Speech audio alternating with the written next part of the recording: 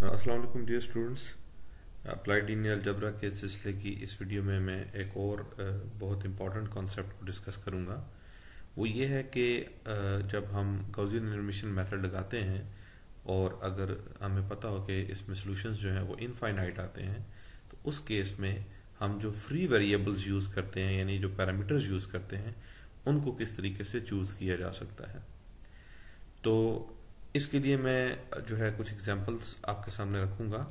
ये first example है। इस फ़र्स्ट एग्जांपल में अगर आप देखें तो ये हमारे पास एक सिस्टम ऑफ़ इक्वेशन है, जिसमें तीन वेरिएबल्स हैं एक्स वन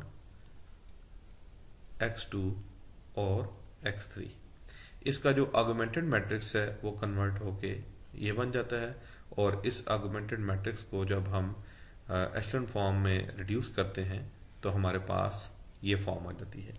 अगर इस फॉर्म को देखें तो इससे जो पिछली वीडियो थी, उसमें मैंने डिटेल से बताया था कि कब कोई सोल्यूशन होता है और कब किसी सिस्टम का सोल्यूशन नहीं होता। और अगर सोल्यूशन है तो किस केस में वो यूनिक होगा और किस किसमें केस में वो आर्बिट्ररी होगा।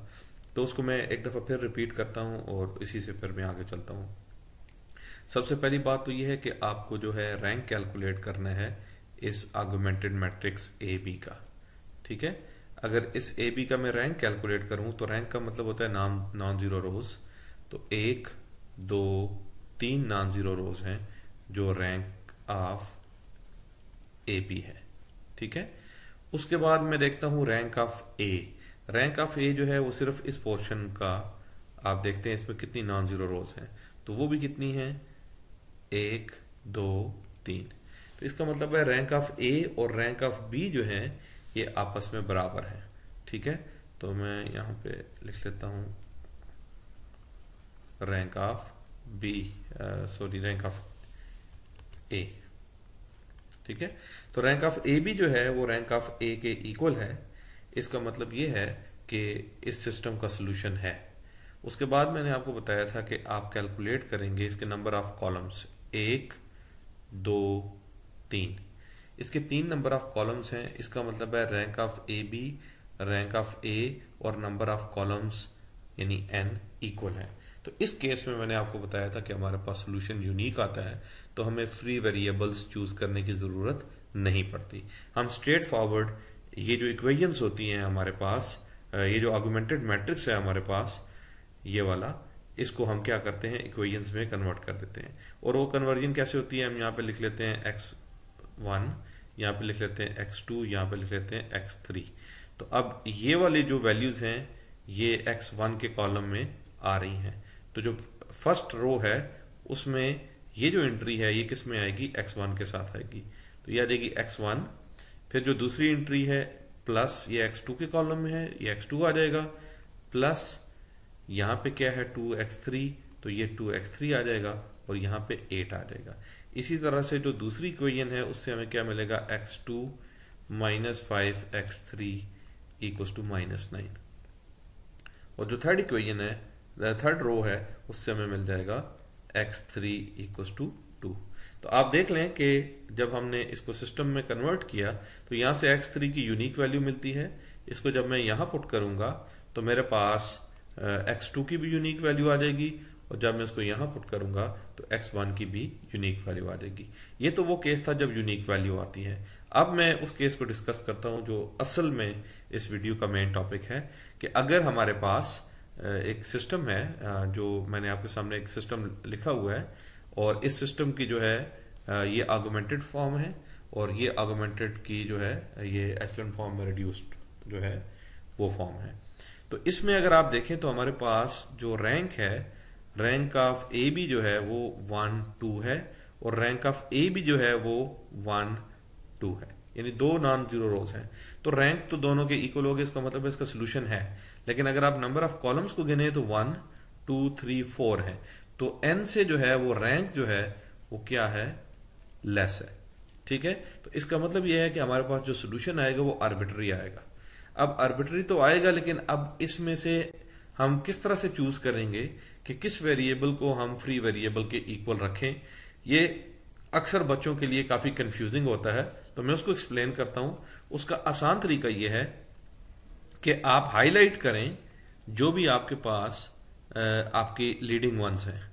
एक लीडिंग वन यहाँ पे आता है और एक लीडिंग वन यहाँ पे आता है। उसके बाद आप यहाँ पे जो वेरिएबल्स हैं वो लिख लें।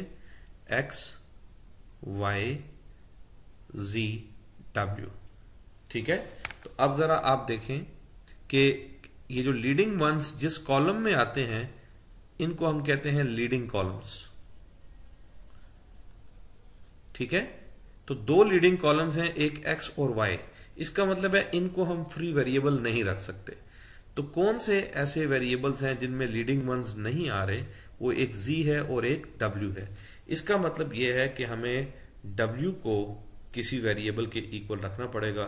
सपोज़ मैं उसको कह देता हूँ कि वो टी है, ठीक है?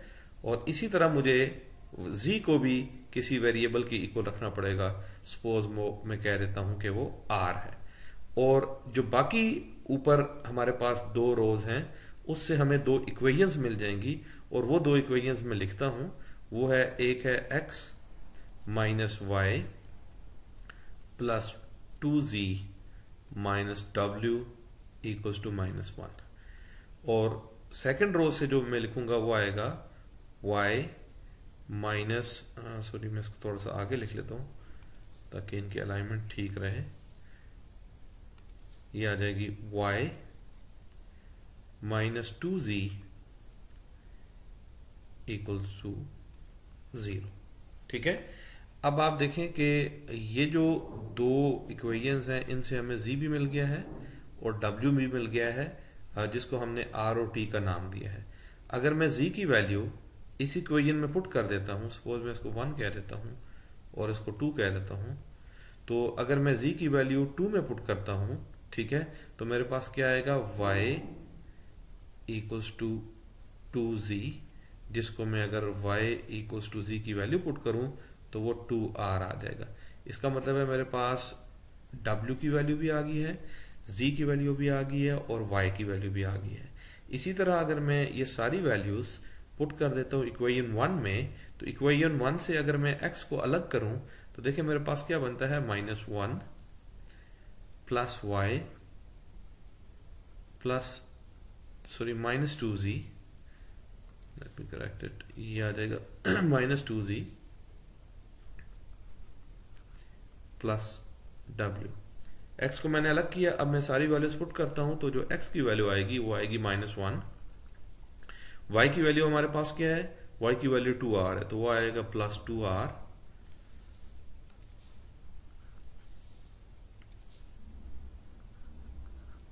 minus two और जी की वैल्यू हमारे पास क्या थी? वो आर रखी थी तो वो टू आर आ जाएगा.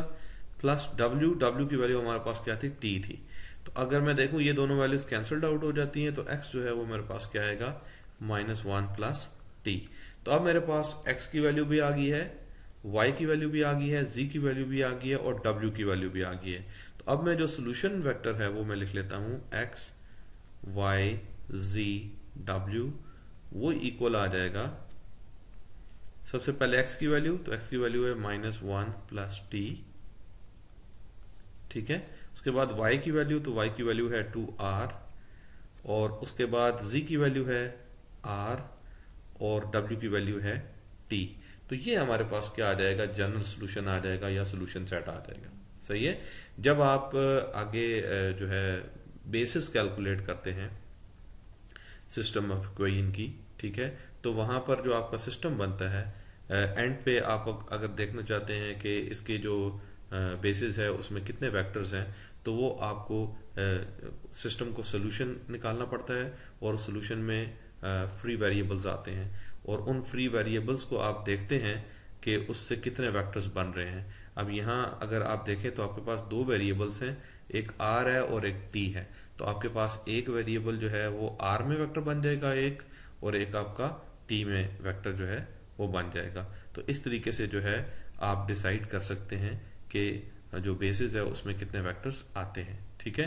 तो होपफुली अब आपको समझ आ गया होगा कि किस तरह से हम फ्री वेरिएबल्स को कैलकुलेट करते हैं और अगर हमें कोई ऐसा सिस्टम सॉल्व करना पड़े जिसमें फ्री वेरिएबल्स इन्वॉल्व होते हैं तो आप आसानी से गैस कर सकते हैं आ, कि उसमें कौन कौन से वेरिएबल्स हम फ्री रखें और फिर आगे फर्दर उसको सॉल्व भी कर सकते हैं। इन ताला जो नेक्स्ट कुछ वीडियोस हैं उनमें मैं आपको बताऊँगा कि जो गाउसियन एलिमिनेशन मेथड है या गाउस जॉर्डन मेथड है उसको हम इंजीनियरिंग के प्रॉब्लम्स में किस तरह से अप्लाई कर सकते हैं। मैं दो तीन किस्म के प्रॉब्लम्स करवाऊँगा नेटवर्क के प्रॉब्लम्स करवाऊँगा, और सर्किट्स के प्रॉब्लम्स करवाऊँगा, और बैलेंसिंग ऑफ़ केमिकल इक्वेजन जो है वो कैसे की जा सकती है। लीनियर अलजबरा की मदद से ये भी करवाऊँगा, और